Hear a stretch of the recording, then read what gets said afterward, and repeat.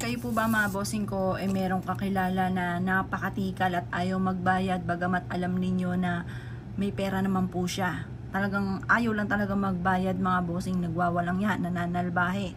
Ngayon po mga bossing ko, ito, aking i-share sa inyo para makapagbayad na po siya. Pero, kung alam nyo wala namang pera, tapos may pera pa naman kayo, hayaan nyo na lang po siya. Huwag nyo nang singilin kasi wala talaga. Ultimo makain ay wala. Eh, syempre, mahirap naman po yun mga bossing ko. Parang na nanggigipit po tayo. Basta ito ay para lang sa mga tao na na ayaw talaga magbayad bagamat alam natin na mapera naman po siya. Na post nga siya ng post na uh, kung saan saan siya kumakain, nakakabili siya, pero yung utang sa inyo hindi mabayad-bayaran. Ngayon po, isusulat natin yung pangalan. Pero kung hindi nyo alam ang pangalan, ibulong nyo na lang po mga bossing ko dito sa ating tubig. Kung ano po yung uh, intention ninyo, yung sabi nyo, itong taong ito may utang sa akin at panalangin ko na magbayad po siya kaagad. Pero kung alam nyo ang pangalan, i-wish nyo lang po muna dito, sabihin nyo po dito, halimbawa, halimbawa lang ito, ang pangalan ay Perla. Perla Reyes. Sample lang to ha. Ngayon, sabihin nyo po dito, uh, Perla Reyes, magbayad ka na agad sa akin. Tapos sabihin nyo kung magkano yung amount. Halimbawa, ang utang sa inyo ay 20k. Makakabayad ka na agad. Ganun po mga bossing.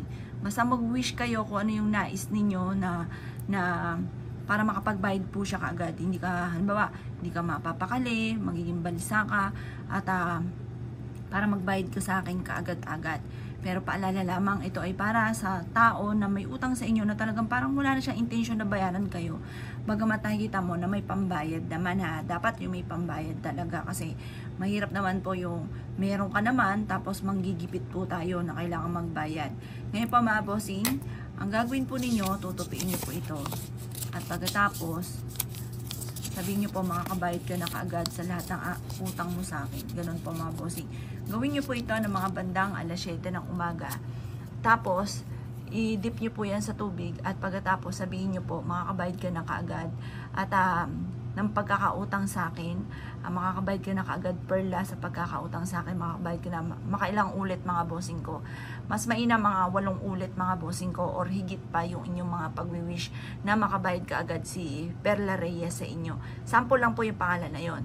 Ngayon pa mga bossing, basta positive ka lamang, lagi nyo tatawagin siya sa inyong ibubukas sa bibig at sa inyong isipan na makabayad siya kaagad mga bossing. Ito po mga bossing ko ay sikreto lamang, huwag niyong ipaalam to kahit kanino kasi na tumatagal mga bossing bago matupad yung kung ano may winish po ninyo.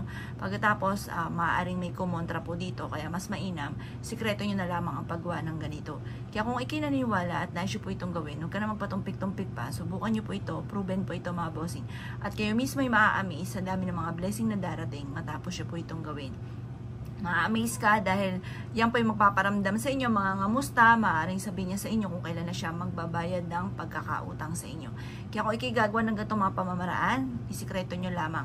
Pagtas, ibilad nyo to sa sinag ng araw hanggang alas 8, tapos uh, ibabad nyo po siya sa may altar po ninyo. Kapag nagdumi na ang tubig, itapon nyo lamang yung papel, pagtas tapon nyo rin po yung tubig. Kung gusto nyo gumawa ulit ng ganito, subukan nyo po ito.